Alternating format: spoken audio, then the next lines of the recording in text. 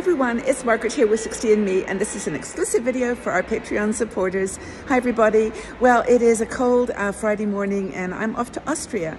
You know me, I'm a restless traveler. I'm always looking for somewhere new to go and explore. And the place I'm going today is called Feldkirch and it's in Austria, just across the Swiss border. It's not that far, a couple of hours on the train. But um, I've just been wandering in our little shop, our shopping area. There's some drilling in the background, so excuse that. But anyway, just wanted to say hi and hope you enjoy the day with me.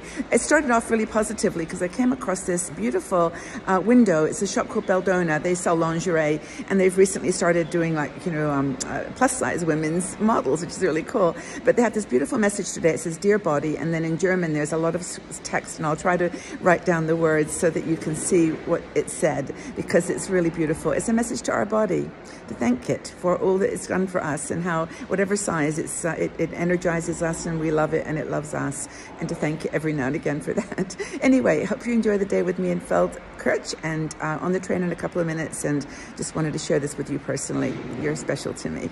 Thanks, guys. I'm on my way. This is the train I didn't know that goes to Graz, which is in uh, uh, Austria as well, and it's a beautiful train. It's got this panoramic section, which I'm not going to get on because it's first class, but it's really lovely. This is a beautiful, beautiful train. It's going to be fun, and I get off in about an hour and a half not all the way to, uh.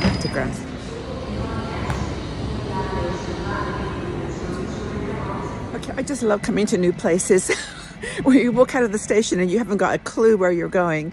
Total new experience. Well, I'm here in Kirchberg, um, sorry, Kirchberg, in Feldkirch, and it's a very strange place. I mean, the station was absolutely packed, and I'm now walking into the town.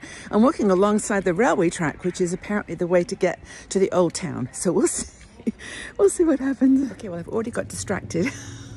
Coming from the train station, I saw this sign. It said Korean and Asian food. And oh my goodness, I'm just going to show you some of this stuff. This is the snack section.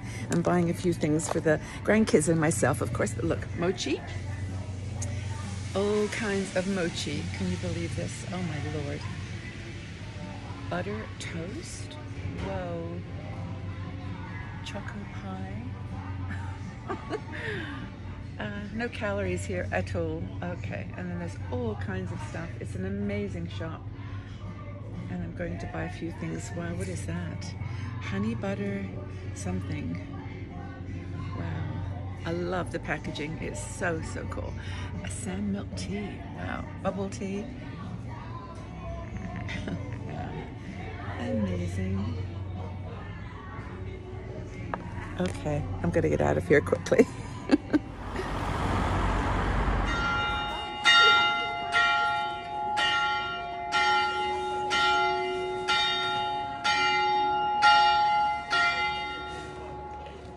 I just found the most amazing flower market. But how I got here was incredible. I was just wandering around the old, old town, which I showed you some pictures of. And this lovely lady come up and asked me if she could help me. And she was in Ukraine.